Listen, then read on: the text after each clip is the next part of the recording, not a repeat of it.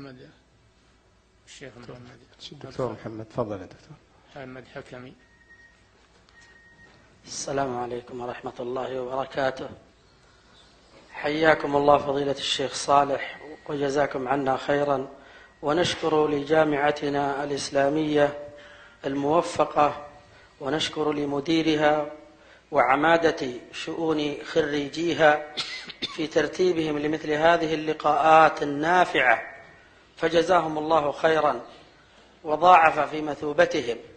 فضيلة الشيخ بمناسبة ما تقدم قبل قليل وهو الكلام على البدء بالدعوة إلى التوحيد والسنة وأنه ينفر هناك سؤال يأتينا معشر المدرسين وهذه مناسبة طيبة مباركة جدا ونحب أن يسمع أبناءكم التوجيه منكم على جناح آخر يشاع ويذكر وقد أجيب عنه لكن في مثل هذا المحفل المبارك التذكير به حسن ألا وهو أن دعوة الشيخ محمد بن عبد الوهاب رحمة الله تعالى عليه جاءت بتكفير المسلمين وتكفير المجتمعات وأن التكفير نابع منها فحبذا حفظكم الله لو شنفتم مسامعنا بالكلام على هذا القول الذي يلصق بهذه الدعوة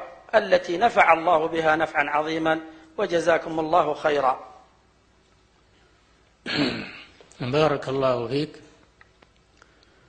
وأنا أشرت إلى هذا أو إشارة خفيفة اللي يقول أن الشيخ أنه جاء بمذهب جديد. أنا قلت أتحداه أن يبين لنا ما هو هذا المذهب الجديد الذي خرج به الشيخ عن جادة أهل العلم وعن السلف الصالح. بين لنا هذا. أما أن الشيخ يقال فيه ما يقال فليس هذا بغريب. قيل في الأنبياء عليهم الصلاة والسلام. وصف الأنبياء بالجنون وصفوا بالسحر وصفوا بالكذب وصفوا بأوصاف كثيرة. وصف الأئمة بشيء من ذلك ومنهم الشيخ محمد بن عبد الوهاب. فلا غرابة في هذا أبدا ولا يضر الشيخ وإنما يرفعه الله بذلك. يرفعه الله بذلك. وهذا الذي يقول إنه يكفر المسلمين انه انه انه, إنه نقول هذه كتب الشيخ موجودة. كتبه موجودة ولله الحمد. هات لنا نص من كتبه أنه يكفر المسلمين. إنما يكفر من كفره الله ورسوله وأجمع المسلمون على تكفيره. أما أنه يستقل بمساله ويكفر فيها دون أن يكون مسبوقا بذلك من من أهل العلم. ومن غير دليل من كتاب الله وسنة رسوله فهذا اتهام باطل.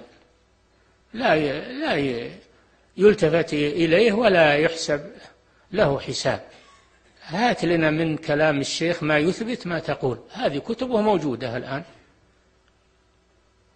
وأنت لا تسمع الكلام الذي يقال في فلان من العلماء دون أن ترجع إلى كلامه هو وإلى مؤلفاته هو.